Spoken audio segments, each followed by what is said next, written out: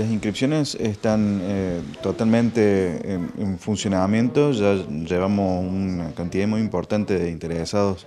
en, comenzar este programa eh, y se han extendido hasta el,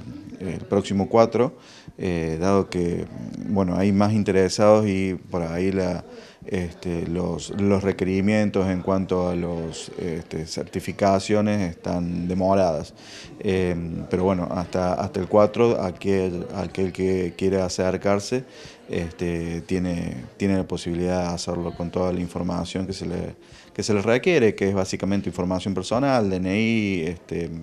em, eh, bueno, fotos carne, tres fotos carne y principalmente, particularmente el certificado de estudio,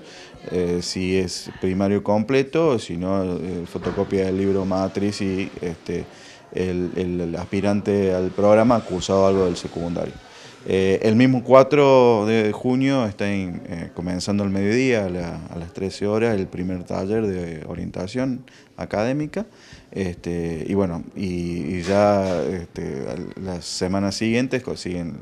continúan los talleres por todo este primer cuatrimestre este, específicos de orientación este, académica, que tienen que ver con orientación, TIC, este, nivelaciones, este, tiene que ver también con este, técnicas de estudios y después en el segundo semestre ya dependiendo de eh, la persona que carrera va a seguir, en qué facultad, vienen los talleres específicos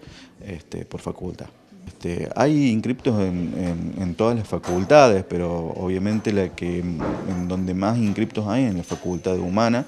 particularmente carreras como enfermería, este, tiene mucha aceptación. Pero tenemos inscriptos en todas las facultades.